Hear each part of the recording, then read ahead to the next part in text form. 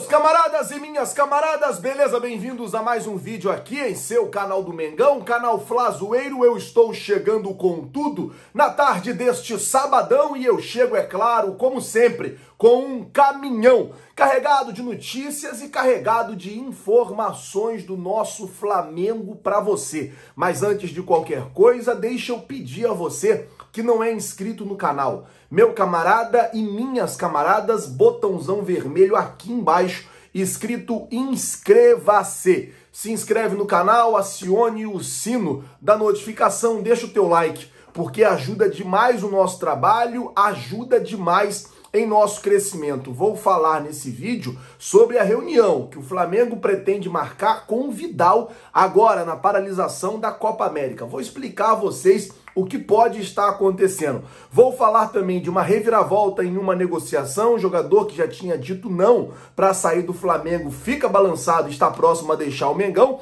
Vou falar também sobre a situação de Jorge e Arrascaeta, que com a venda do Gerson pode ter o seu contrato renovado e vou deixar vocês, é claro, por dentro de tudo que está rolando e acontecendo no rubro-negro mais querido do Brasil e do mundo, o Clube de Regatas do Flamengo. Então, ó, cola aí esse dedo no like para poder ajudar e se não é inscrito, se inscreve no canal. Vou começar o vídeo já dando os parabéns aqui para o Flamengo, que até que enfim abriu os olhos. O Flamengo decidiu internamente que vai investir mais no futebol feminino. Essa semana, inclusive, teve um vídeo que emocionou a todos nós, né? Quando as meninas elas entram no vestiário e começa a ver os mantos né, as camisas do Flamengo com o nome delas. Isso não tinha. E daí as meninas todas emocionadas, chorando e tal. O pessoal da comissão técnica também. Mano, Flamengo precisa investir no futebol feminino. Eu não acompanho muito futebol feminino. Não vou ser hipócrita de. Não, eu não acompanho muito. Mas eu sei da importância do futebol feminino. Eu sei que é uma coisa que está crescendo e que os outros times no Brasil estão se reforçando bastante. Vou dar um exemplo: o Corinthians tem um time muito bom. Vou, vou até ser mais, mais categórico. Eu acho que o time do Corinthians feminino tá melhor do que o masculino. As meninas ganharam Libertadores, as meninas, pô, bate de frente. Eu tava vendo um jogo uma vez, vi que as meninas jogam muito bem.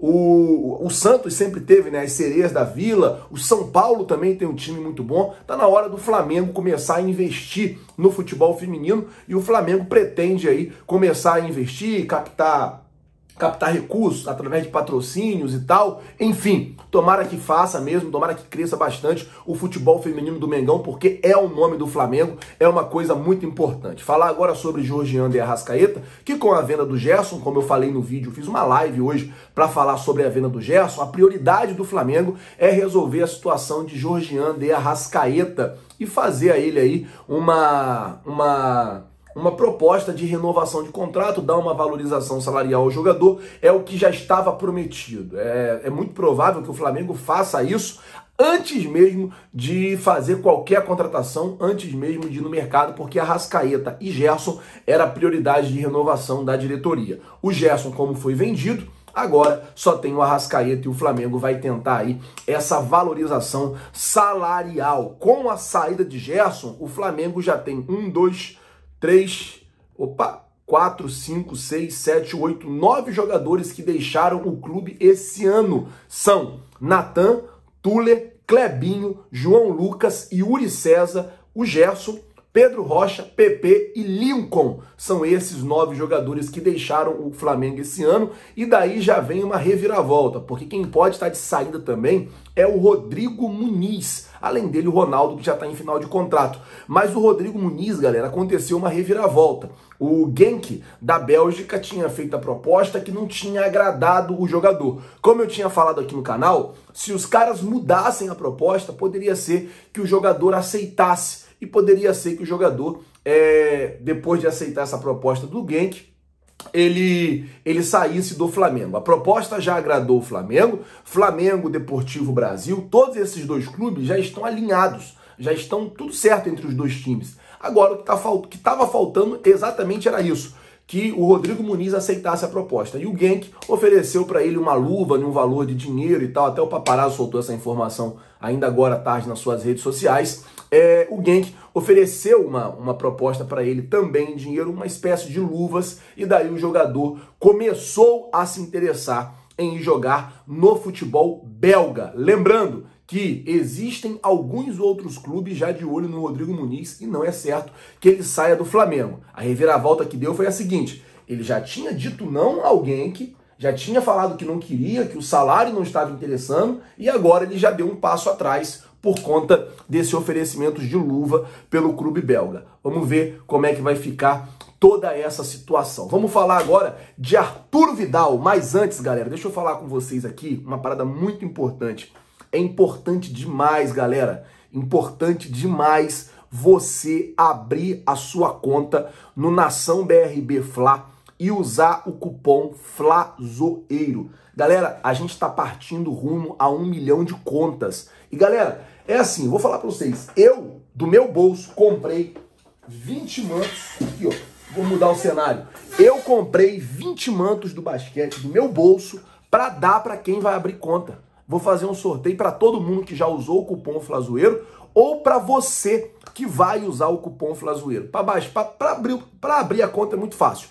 Você baixa o aplicativo Nação BRB Fla, vai lá, clica, quero abrir a minha conta, nome, CPF, telefone, endereço, vai bater uma foto do documento, uma selfie. Depois da selfie, vão te perguntar: você tem cupom? Você responde sim e escreve lá Flazoeiro. Lembrando que o sorteio é no outro sábado, dia dos namorados. E se a sua namorada, esposa, qualquer coisa aí, tiver também aberto conta com o cupom Flazoeiro, ela também ganha. E se ela ganhar, você também ganha. Então fala para ela abrir aí a conta com o cupom Flazoeiro que vai ser bacana demais. Flazoeiro, eu abri a minha conta, quando eu abri ainda não tinha esse negócio do cupom. Pede para sua esposa, namorada, ficante abrir a conta que se ela ganhar, você também vai ganhar, beleza? Bom, vamos mudar de assunto, vamos falar agora sobre Arthur Vidal. Flazoeiro, que história é essa aí? Saiu no jornal AS do Chile que o Flamengo tem um plano para tentar a contratação do volante Arturo Vidal. A ideia do Flamengo era aproveitar a paralisação da Copa América e o Chile vai vir jogar aqui no Engenhão logo nas primeiras rodadas, acho que no dia 14 de junho, o Chile joga aqui no Engenhão e o Flamengo iria tentar uma reunião com Arturo Vidal visando entender o que, que o jogador pretende. Ele está em final de contrato com a Inter de Milão e daí o Flamengo queria entender como é, quanto é que você ganha que, que você pretende? E aí? Ah, ó, a gente pode te pagar isso. Seria viável para você? Seria bom para você? E pronto. A ideia do Flamengo era marcar uma reunião com o jogador, segundo o jornal AS, lá no Chile.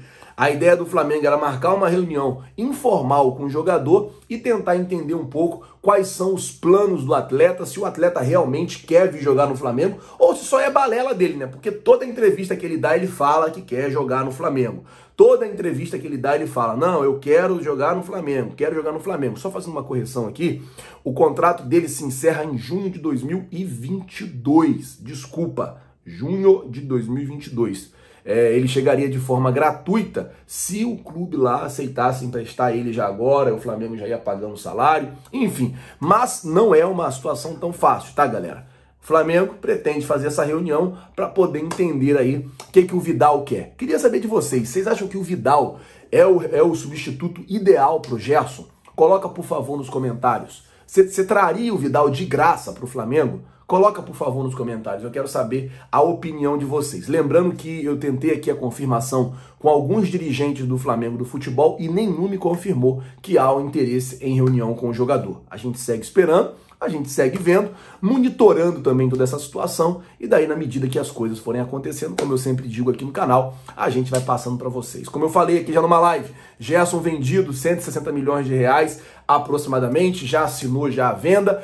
Porém, volta depois da seleção olímpica. A seleção olímpica perdeu hoje de 2 a 1 mano. O jogo tava tão bom que eu dormi. Fui assistir o jogo, acabei dormindo. Eu dormi, dava 1 a 1 ainda.